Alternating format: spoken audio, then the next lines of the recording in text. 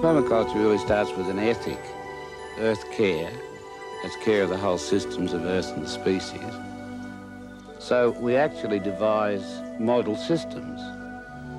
Much of the design is drawn from nature.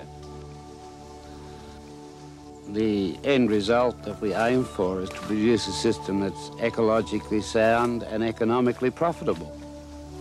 It can get as sophisticated or as simple as you like.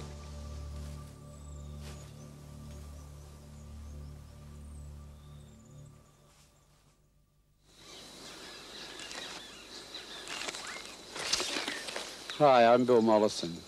I sometimes get very sick of bad news. And I think we should always look at things like that and try to turn it into good news. It's really easy to turn things around. In five weeks' time, this will be a nice set of potatoes. And for me, that's good news. In the late 60s, I was protesting social and environmental issues. But by the early 70s, I decided protest wasn't good enough. So I commenced designing gardens and positive design systems for human settlements.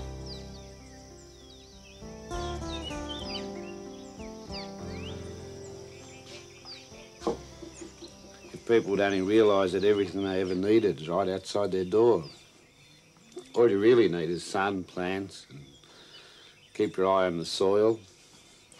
And of course, if you've got plenty of fruit, you've got a lot of friends.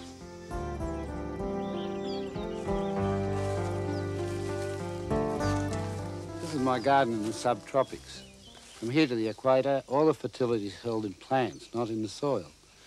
Therefore, you have to make an extremely dense plant system, and the mulch and fertilizer we put on is all up in these plants. If we remove the plants, we have an infertile situation.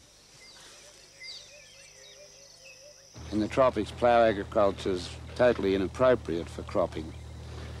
For a few years we can hold nutrient perhaps, but then it will go because it's torrential and hot rains. Even the silica leaves the soil. This causes more pollution in the streams, more rapid losses of nutrient, and it would be a very rare crop that we can grow which we get the value of the minerals lost back in the crop.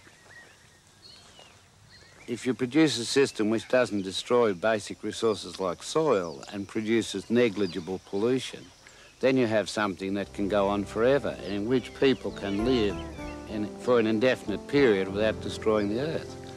And that is the ultimate aim. And all, uh, all our sustainable systems achieve that aim.